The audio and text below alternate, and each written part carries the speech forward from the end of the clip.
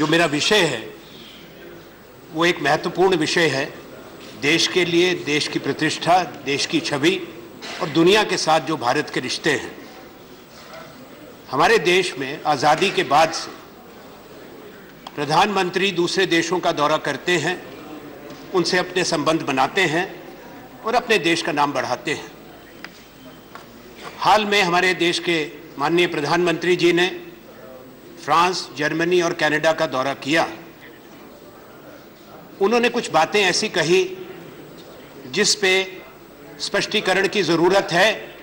Deputy leader of the Congress in the Rajya Sabha Anand Sharma today lashed out at the prime minister in the Rajya Sabha saying that the image of the country had been sullied globally because of his remarks in Canada about India's image Sharma demanded a clarification from the PM प्रधानमंत्री ने देश की छवि को खराब किया अपने पद की गरिमा को छोटा किया।